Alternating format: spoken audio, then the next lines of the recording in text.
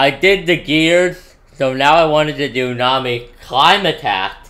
But first, I want you guys to go into the comments and tell me down below what you want me to explain in the future. The Clima-Tact made its first appearance in One Piece Manga Chapter 190, corresponding with anime episode 117. The Japanese name is Tenkobo. Tenkobo or Clima-Tact means weather staff and it is a modified bow staff based off of Nami's original bow staff that she was using in combat up until receiving the Clima-Tact. Also, before we get into the fun stuff, like how can you use this thing to freaking kill people, the Clima-Tact was originally red in the manga and changed to blue in One Piece manga chapter 628. Each separate piece of the Clima-Tact is capable of producing a bubble of air each bubbles had different properties. One of them is called the heat ball, produced from the heat pole. The next is called the cool ball, produced from the cool pole. The next is called the thunder pole, produced from the electric pole. Now we need to explain these balls and these poles. The heat ball is as stated before produced from the heat pole, either when air is blown into it or when it is shaken. The heat bubble, or heat ball, is a red bubble of heated air that drifts along in the air. It heats up the temperature of the area surrounding it. After the Clima-Tact is upgraded into the perfect Clima-Tact, this attack becomes powerful enough to damage an opponent in its most basic form, Cool Ball! The Cool Ball is produced from the Cool Pole, as stated before, when air is blown into the end of it. The cool ball is a blue bubble of cold air that drifts along in the air, as with the heat ball. It cools down the temperature of the air surrounding it. After the Clima-Tact is upgraded to the perfect Clima-Tact, this attack, once again, becomes powerful enough to damage an opponent in its most basic form. And the same goes for the Thunderball. Produced from the electric pole with air blown into the end of it, the thunderball is a yellow bubble of electrified air that drifts along in the air. It electrifies the air of the area surrounding it. After the Clima-Tact is upgraded to the perfect Clima-Tact, this attack becomes powerful enough to damage an opponent.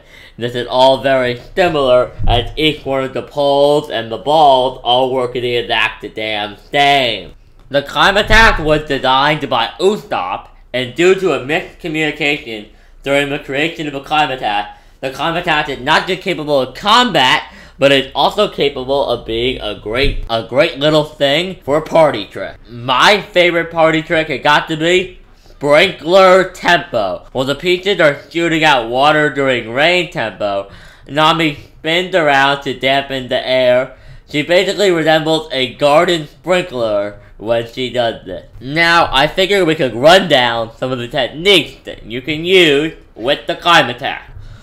Cyclone Tempo, Mirage Tempo, Thunderbolt Tempo, Tornado Tempo, Fog Tempo, and Thunderstorm Tempo, though this is an anime-only technique. As Usopp originally designed the Clima-Tact, he also gave it an upgrade prior to leaving the crew at Enies Lobby. This is where we will get in to what the perfect Clima-Tact can do in battle. The perfect Clima-Tact is capable of all the same abilities as the previous one, though it has never been shown to use party tricks. It can use the Heat Ball, the Cool Ball, the Thunder Ball, and the Thunderbolt Tempo.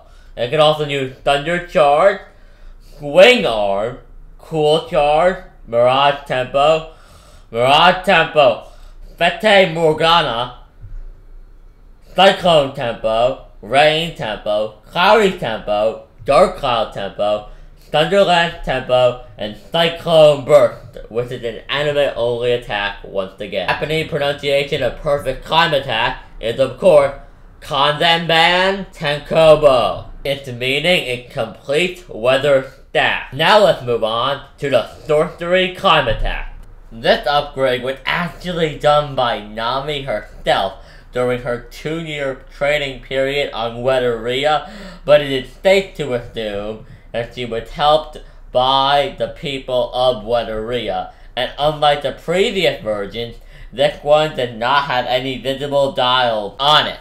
Attack-wise, this Clima-Tact had the Mirage Tempo, the Gustasword, Black Ball, Rain Rod. This attack appeared to be a combination of Thunderland Tempo and Thunder Charge Swing Arm. Thunder Trap, Heat Egg, Milky Ball, Weather Egg, which is an attack I actually feel a need to explain. Okay, so, Nami launches an egg which hatches to reveal a particular kind of weather. One of those can be the Thunder Breeze tempo. After launching an egg at her opponent, she commanded to hatch, calling it Lightning Shine which then releases a large thundercloud. After creating thunderclouds above her opponent, Nami can take control of the lightning using her Clima-Tact, contracting it all into a small blast she can hit her opponent with. Yukigomo. An attack Nami attempted to use against Jora, but failed, and as such we had not seen the effect of the Yukigomo yet in the series. And last but not least, Rain Tempo. Now let's move on to the fourth and final iteration of the Clima-Tact. After the time skip, Nami once again asked Usopp to upgrade her sorcery Clima-Tact upon reuniting with him on Sabaody Archipelago. Both Franky and Usopp used the knowledge they gained during the two years of training to incorporate all but one gadget of weathering technology that Nami gave to Usopp in order to, in order to make a lighter, more compatible weapon for Nami. The one gadget that was not incorporated into the Clima-Tact was the magic wand, as Usopp was unable to comprehend it. Unlike previous versions, this one did not need to be put together, as it had the ability to extend and contract when it is stroked by Nami. This new Clima-Tact is vastly different from the others and has new abilities. One of these is the Grow Up ability.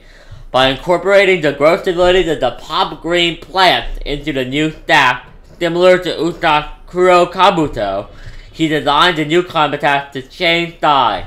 Whenever Nami squeezes the handle, she can extend the size of the staff, where the new length is determined by the amount of pressure she applies. Make your dirty jokes about the manga panel on screen in the comments now, folks. I am 100% sure this Clima-Tact can do everything else the old Clima-Tact could do. So far, we have only seen it be capable of using Mirage Tempo, Thunder Trap, Thunderbolt Tempo, Weather Egg, and Rain Spark, as Nami only recently got it at the end of the Zou arc. How will Nami use her upgraded Clima-Tact in the future in future fights against different characters?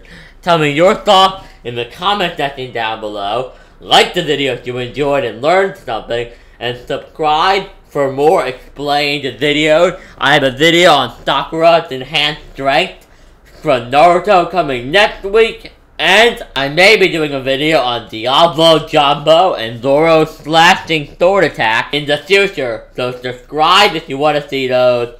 And above all else, guys, have a great day. Check out my Twitter and Facebook. Links to both of those will be in the description box down below. And have the greatest day possible.